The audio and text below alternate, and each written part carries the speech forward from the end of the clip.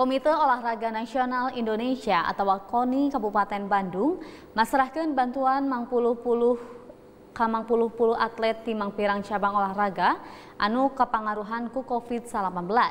Begituna butuh kehati pamarentah sangkan kegiatan sapopoe atlet anu teu bisa tanding dipaju kawas sasari najadina kaayaan anu sarwa kawatasanan. Mang puluh-puluh atlet timang pirang cabang olahraga nampa tunjangan serta bantuan anu mangrupa duit serta alat pelindung diri salila pandemi COVID-19. Eta bantuan teh mangrupa wangun kahaat KONI Kabupaten Bandung kasakumna atlet. Ari jumlah bantuan anak beda-beda timimiti 500 ribu tepi ka juta.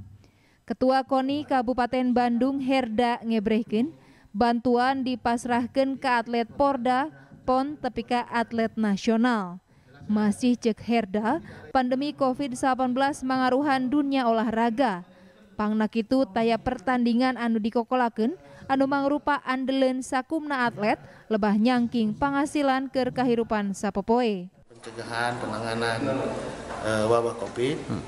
kemudian juga untuk ketahanan atlet, kita menyalurkan dana uh, stimulan kompensasi COVID ya dalam hal pencegahan dan penanganan COVID kepada atlet dan pelatih kita.